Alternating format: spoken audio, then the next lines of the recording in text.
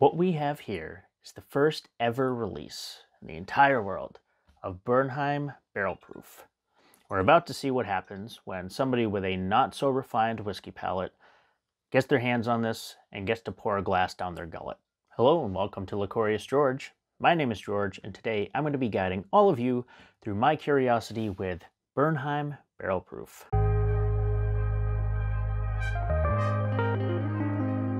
Some of you may already be familiar with Bernheim's wheat whiskey.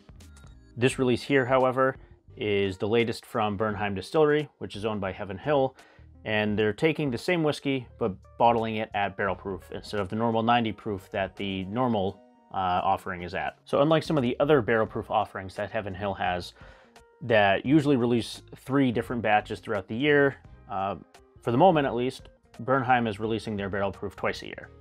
So as I mentioned at the beginning, this is actually the first batch to hit the market. So Bernheim just released this earlier this year.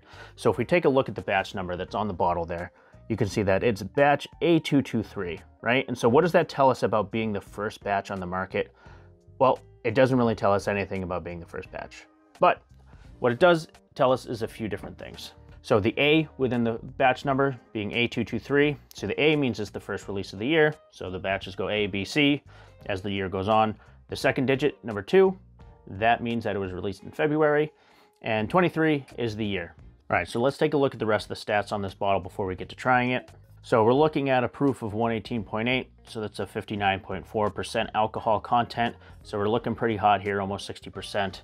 In terms of aging, this offering is aged between seven to nine years. So it's made up of a number of different whiskeys that can be aged anywhere in that range. Now, one thing that I happen to like about this whiskey already is they give us exactly what the mash bill is made up of, so I don't have to guess or go research at all. So score one for the transparency, folks. So the mash bill is made up of 51% wheat, 37% corn, and 12% malted barley. That's enough of me talking. Let's go ahead and get to tasting this. All right, so first giving a little swirl and taking a look at the color of it. So we got a pretty darker brown color here, uh, almost a little reddish. So it's kind of like a deep bronze, copper color almost. So maybe you can see it there on the thing. It does seem like it has a little bit of a reddish tint to it. That might just be my lighting in here, but again, what it looks like in the glass.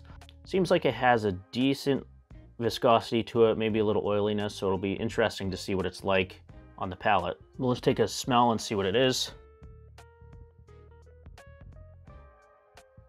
All right, so I definitely right off the bat get the that wheat kind of influence out of it. If you can imagine wheat, you use it in flour and stuff like that, it basically smells like a bakery in here right now. So definitely that bready smell. Yeah, I definitely say it smells like yeast in there. Just from, you know, when you smell it, it kind of smells like the bread, but you got a little bit of the pungent kind of smell. I think the, the pungency might be coming from the proof of the alcohol itself. But you're definitely getting the breadiness to it. And then you're getting some sweetness in there too. So I don't know really what kind of sweetness at this point. You know, again, it might just be kind of that bready smell, but almost like a sweet bread, maybe honey. Not really getting a lot of wood or oak out of it. It is a nice nose though. You can definitely tell the proof on it that it's a little higher. Because if I stick my nose a little bit deeper in there, you can definitely feel it. But it's not too, too bad. Yeah, the nose is definitely like a sweet bread. And yeah, maybe towards the end here, I'm getting a little bit of the spice coming through. But not too, too much. Yeah, so let's give this a taste. Let's see what it's like on the palate. Yeah, almost like a nice fresh baked roll that has some honey drizzled on the top or something like that. This is what it kind of reminds me of. So second taste on there, you can get a little bit more of the sweetness out of it, but the spices are coming through now too. Yeah, you're definitely getting some spice that comes through on this, but it's not like a normal, like a peppery spice. It's kind of a, it's like a baking spice, something more like a clove though, not like a cinnamon really. I'm getting more of a clove spice on that. Yeah, I'm really just getting more of that breadiness, you know, some sort of a yeast bread. So it's almost, in my head, I'm picturing like a, like a yeasted bread roll, drizzle a little honey on it, maybe sprinkle a little spices on the top. Like I said, clove, I don't know, can you get like sprinkle cloves? I don't even know how cloves come. But something along those lines, because there's baking spices in here, but normally when I hear baking spices, I think like a cinnamon kind of a thing, but it's not cinnamon. It's more like a clove. It, you know what a clove smells like. But it's actually really good. It's pretty mellow too, considering it's almost 60%. Um, it's actually pretty mellow, uh, you know, the second and third sips. The first one came in a little hot. Second and third sips are, are fine. So I think after the first sip, it ends up being all right. And you know, it looked pretty viscous in the glass when you're giving it a spin and looking at it. But on the mouth, it actually goes away a little bit more than I thought it would. I thought it would be a little bit more oily and stick around. It is a little bit, but it's not too bad. You know, from the finish perspective, there is a little bit of, I'm getting a little bit of the dryness on the side of, you know, your tongue. I'm trying to think of the word there, like astringency, right? When you drink something, it's a little bit of astringency. Sometimes you get it with wine and things that are dry. The sides of your tongue kind of salivate a bit. I'm getting a little bit with this.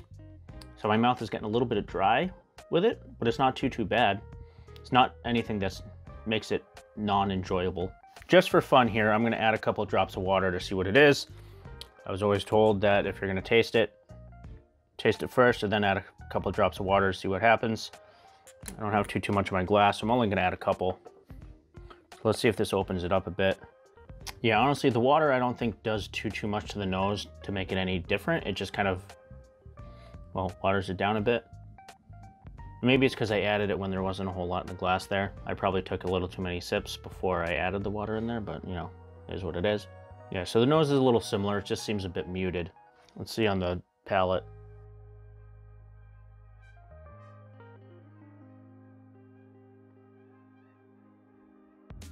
Oh, it opened the palate up a bit though. With a couple drops of water in that, I'm kind of getting like a maple syrupy kind of taste right? Instead of the honey, I kind of get something a little bit different than that.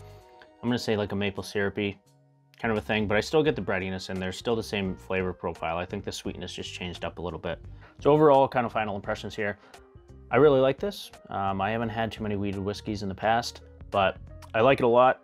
Um, you know, that, that mixture of the sweet bread kind of a thing. Um, maybe that kind of suits my palate a bit. It's also really smooth, which is nice, you know, even though it's almost 60% alcohol, um, it's pretty smooth from that regard. You know, I have had a few, um, you know, barrel proof cask strength whiskeys before, and it's actually pretty smooth compared to some of those. Uh, so it's nice, real nice mixture there of the, the sweetness, not a whole lot of spice to it. So if you're someone who's a big fan of, of spicy stuff, you know, might not be in your wheelhouse, but yeah, overall, I think for, you know, the 65 bucks or so that I think I paid and picked this up at, um, you know, for a barrel proof whiskey, if you're a fan, you know, I definitely think it's worth it.